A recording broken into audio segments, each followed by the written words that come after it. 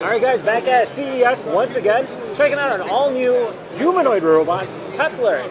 Uh, so this year is uh, Debo. Yes. Can you please tell me more about uh, the robot? Yeah, my pleasure. Come this side. So basically, Kepler robot is made for the industrial applications. For example, using in the production line, warehouse and logistics, moving boxes, picking and uh, sorting the items. These Right. kind of use cases. Very cool. And now uh, this can also lift up boxes too, is what you're saying? Or? Yes, yes, it can carry about 40 kilo uh, payload. Okay. And then in terms of the actuators, what kind of actuators are you using? Yeah, we basically use uh, two kind of actuators. So one is uh, rotatory. Okay. It's used on these uh, joint places. And another one is linear ones, goes to straight line.